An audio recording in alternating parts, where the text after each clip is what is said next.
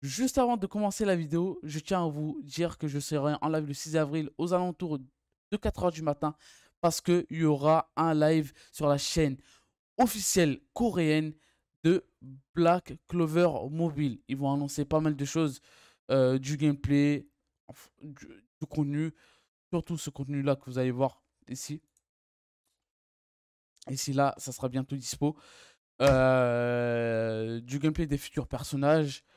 Également, euh, pourquoi pas parler d'une future collab, film Hein Sur ce, j'en dis pas plus. Bon visionnage. J'ai énormément d'informations sur euh, ce, cette vidéo. J'espère qu'elle va vous plaire. Pouce bleu et abonnez-vous à la chaîne. Ça me fera énormément plaisir. Bon visionnage. Salut tout le monde, j'espère que vous allez bien. On se retrouve pour une toute nouvelle vidéo pour vous parler de Black Clover Mobile. En directement dans le vif du sujet, j'ai juste quelque chose à dire très rapidement. Discord et Twitter disponibles dans la barre de description. C'est là où je donne toutes les informations concernant euh, principalement Black Clover Mobile et les futurs jeux gacha qui vont sortir, que ce soit sur PC ou, mobile. Ou les deux à la fois. Bref, Let's go, petit pouce bleu et abonnez-vous à la chaîne, ça me ferait plaisir et ça me soutiendrait comme vous savez, blablabla, etc. Bref, let's go. Nous venons d'atteindre les 300 000 préinscriptions sur la version euh, japonaise. Bien sûr, c'est totalement normal. Ne vous euh, étonnez pas euh, pour... D'ailleurs, pour la version japonaise de Nanatsu Grand Cross, ils avaient pour objectif d'atteindre les 500 000 préinscription au grand maximum. Et là, ils sont en train de refaire à, peu près le même, la même stratégie marketing. Du coup, ne vous inquiétez pas s'ils mettent un peu de temps. La version globale, euh, je pense qu'on atteindra les 2, voire 3, voire pourquoi pas les 4 millions de préinscriptions au bout de un mois avant, euh, le, avant le, lancement.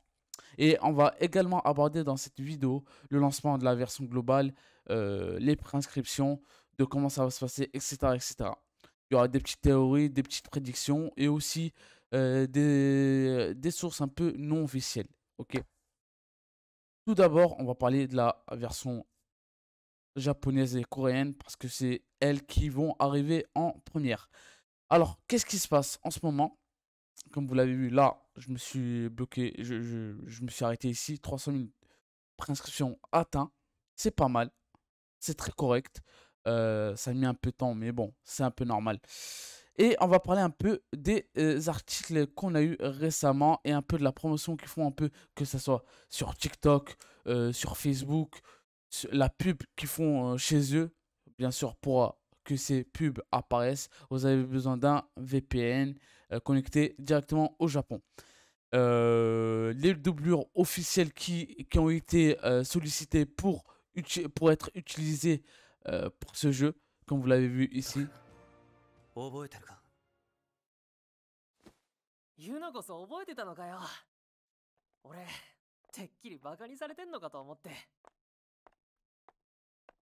ライバルと仲良くやる趣味はないからなどっちが魔法帝になるか Voilà, c'est incroyable. La qualité est incroyable. La qualité de son, là, c'est pas juste des voix reprises directement de l'anime. Ils ont carrément pris les, les seiyuu et ça, c'est un énorme point. C'est ça qui va donner vraiment des, gens, euh, enfin les joueurs, les futurs joueurs, de jouer au jeu. parce que euh, généralement, les gens reprennent que, euh, que, que, que les voix déjà préenregistrées par le passé pour l'animer. Et ça, c'est un énorme bon point. C'est pour ça que le jeu a eu énormément de retard. On retourne un peu sur euh, ça. Let's go. Alors, selon l'industrie du jeu, le 8 mars, V-Game Studio euh, devait euh, va sortir un nouveau jeu Black Clover au cours du premier semestre de cette année.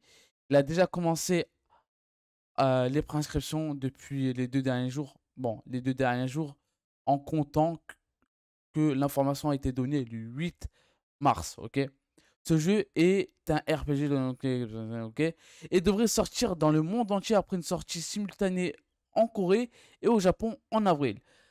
Là, depuis une source intérieure de V-Game Studio, enfin pas de V-Game Studio, plutôt de Pearl Abyss, ils disent que le jeu va sortir en avril. Il est prévu que Big Game Studio publiera directement en Corée et au Japon et laissera la publication à l'éditeur euh, l'éditeur mondial Garena pour les autres pays.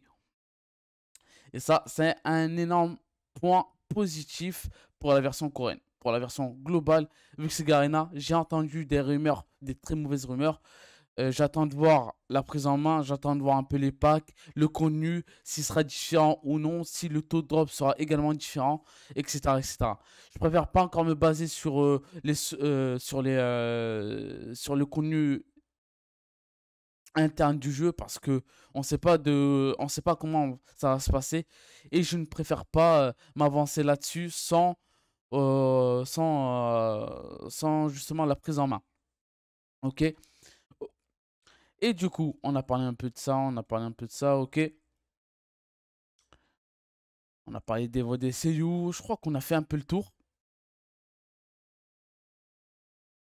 Euh, ok, on va parler de ça. Pour la version globale, pour le moment, la seule information que j'ai, c'est que le jeu sera lancé plus tard, sans aucune date euh, donnée, entre les rumeurs internes et externes euh, qui se disent, qui se balancent, on, dirait un petit effet domino, on dirait qu'ils le font exprès de donner ça. Euh, elle est prévue entre la fin du premier semestre et le début du troisième semestre pour la version globale. Après, on va, là, c'est là où on va partir vraiment sur ma théorie. C'est là où on va partir un peu sur les prédictions. On va aller sur Facebook d'ailleurs pour ça. Euh, ok. Ici. Depuis environ deux semaines, ils essayent de rattraper la version euh, globale. La version globale de Twitter qui a déjà publié l'intégralité des euh, vidéos promotionnelles, des personnages. Excusez-moi un peu pour ces ces bafouillements. Enfin bref. Ils ont commencé avec, si je ne dis pas de bêtises, ouais, c'est bien ça. Ils ont commencé avec Asta, Yuno, euh, Noël, Yami et l'iPhone Magna. Aujourd'hui même, ils l'ont, il y a 43 minutes, comme vous le voyez là, ils ont publié les compétences de Magna. Alors, comment ça va se passer? Comment ça va se passer Pour ma théorie, c'est que j'ai pris en compte le nombre de personnages qui publient par semaine ou toutes les deux semaines. C'est environ 3 personnages toutes les deux semaines. Ok? Du coup, tous les trois personnages, on va aller directement sur le site. Tous les personnages, enfin, toutes les trois semaines, toutes les deux semaines, il y a trois personnages qui sont publiés. Et ce qui se passe, c'est que euh, on va aller sur le site JP. Alors, il est là. Et on va aller dans la rubrique des personnages. ici. Au total, pour le moment, là, le prochain perso qui sera présenté, ça sera Charlotte. je pense qu'il sera présenté lors de la vitrine médiatique coréenne et le, le radio stream euh, japonais qui se passera le 6 et le 8 avril. J'en parlerai juste après euh, cette petite théorie. Ok? Du coup, là, euh, pour la version globale et la version coréenne, ils ont déjà publié Asta, Yuno, Noël, Yami, Luke, Magna, Mimosa, Close, Vengeance, Fuego Leon et Nozel. Maintenant, ce qu'il faut se dire, c'est est-ce qu'ils vont, se, est qu'ils vont continuer à présenter les personnages jusqu'à jusqu'à jusqu'à le peintre? Excusez-moi, j'ai oublié son nom. du coup, Charlotte et le peintre. C'est une bonne question. C'est une bonne question. Du coup, il nous reste deux personnages. Et si, si euh, il nous reste deux personnages, en sachant qu'on est déjà sur Charlotte et qu'elle sera probablement euh, publiée en fin de cette semaine et début de semaine prochaine, et ce qui veut dire qu'après, il nous restera trois semaines avant la release, ça donne une date approximative pour la version coréenne et japonaise de, de fin avril, voire début mai. Voilà. Du coup, ça confirme plus ou moins les, les, articles qui ont été euh, publiés récemment. Ok? Du coup, on est entre le 20, entre, on va dire, le 20 euh, avril, un peu, on va dire 25 avril plutôt, 25 avril et le 10 mai. 15 mai, on va dire. Entre fin avril et euh, milieu mai pour être plus, euh, plus dans être plus précis dans, dans le dans la date de sortie. Et maintenant pour la version globale, comme je vous l'ai dit, on est à 3 persos toutes les deux semaines. Du coup, au total, on comptabilise 12 euh, persos plus 2 autres, ça fait 14. 14 euh, divisé par 3 arrive plutôt à 5, semaines d'intervalle. 5 semaines d'intervalle avec la version euh, coréenne. On, va même compter 2 mois grand max. Ce qui veut dire que le jeu pourrait sortir entre milieu, entre début et euh, milieu juin pour la version globale.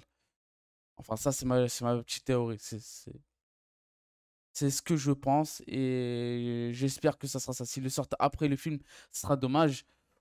Excepté s'ils nous sortent tous les personnages dans un portail style premium ou quoi. Euh, en attendant le, prochain personnage qui sortira juste après quoi. Voilà, ça sera tout pour cette vidéo. J'espère qu'elle vous a plu. Petit pouce bleu et abonnez-vous à la chaîne, ça me fera énormément plaisir. Euh, ciao et à la prochaine. Peace.